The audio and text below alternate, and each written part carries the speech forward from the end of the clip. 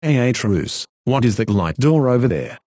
The door from the past where our mother was still exists before she died due to the complications of her organ failure of which it was started by the food she ate. Father we have to go there to change the time where mother is not getting sick and make her live longer and getting started for the further adventures with her existence. You're really sure about that Atreus or else that door will not supposedly lead to the right place? I think we just scammed for unknown reasons as my consequence about that door. Well I think we should find it out then. Let's go father. Atreus come back here before you put yourself in danger.